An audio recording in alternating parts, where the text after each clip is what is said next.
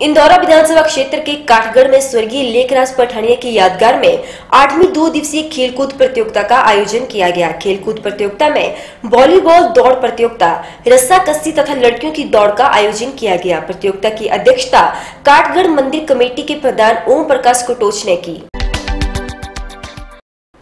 इंदौरा विधानसभा क्षेत्र के काठगढ़ में स्वर्गीय लेखराज पठानिया के यादगार में आठवीं दो दिवसीय खेलकूद प्रतियोगिता का आयोजन किया गया। खेलकूद प्रतियोगिता में वॉलीबॉल, दौड़ प्रतियोगिता रस्सा कस्ती तथा लड़कियों की दौड़ का आयोजन किया गया। प्रतियोगिता की अध्यक्षता काटगढ़ मंदिर कमेटी के प्रधान ओम प्रकाश कटोच ने की। इस दो दिवसीय प्रतियोगिता में 40 टीमों ने भाग लिया तथा इस प्रतियोगिता में हिमाचल तथा पंजाब से लगभग 300 के करीब खिलाड़ियों ने अलग अलग खेलों का प्रदर्शन किया। प्रतियोगिता में प्रथम स्थान वाले को इकतालीस हज़ार द्वितीय स्थान प्राप्त करने वाले को पैंतीस हज़ार पर तृतीय को बारह हज़ार पर चतुर्थ आने वाली टीम को दस हज़ार की राशि व स्मृति चिन्ह देकर सम्मानित किया गया। ओम प्रकाश कटोच ने बताया कि ये प्रतियोगिता हर वर्ष काठगढ़ मंदिर कमेटी द्वारा करवाई जाती है। कमेटी द्वारा ये प्रतियोगिता इसलिए करवाई जा रही है कि युवा पीढ़ी जो नशे की तरफ़ जा रही है, वो नशे की तरफ़ न जाकर उनका रुझान खेलों के प्रति हो। ये मैच हर साल जो है मंदिर कमेटी द्वारा की जाता है।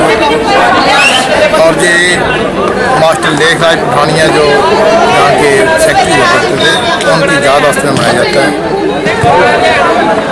और इसमें फ़र्स्ट नाम जो है, वो अड़तालीस हज़ार विद सील्ड रनर को पैंतीस हज़ार ऐसे चार जो हैं वो इसे नीचे इनाम रखे गए हैं। साथ में दौड़ें कराई जाती हैं बच्चों की, लड़कियों की, और रस्सा कटाई की गेमें की जाती हैं।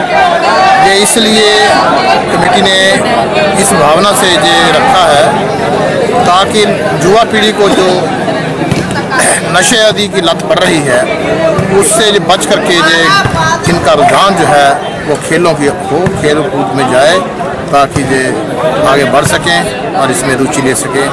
प्रबंधक सभा जो है, इसके लिए सराहनीय कदम, जितने भी चालीस टीमें इस बार हमारे इधर आई थी, और इनके रहने, खाने, पीने आदि का पूरा प्रबंध जो है, सभा ने कर रखा है। तो सवा हर किस्म का काम जो है, चाहे यज्ञ अनुष्ठान वगैरह हो, चाहे कोई हिंदू त्यौहार हो, सनातनी त्यौहार हो, शिवरात्रि का फ़ंक्शन हो, श्रावण मास हो आई कैंप हो, गरीब बच्चों की शादियों में, टेलेंट में, आदि हर प्रकार के काम में हिस्सा लेती है और अपने क्षेत्र में, हिमाचल में, पंजाब में और जो उत्तरी भारत में एक नाम पैदा किया है प्रमुख सभा ने। वक्त हो चला एक छोटे से ब्रेक का आइए मिलते हैं ब्रेक के बाद।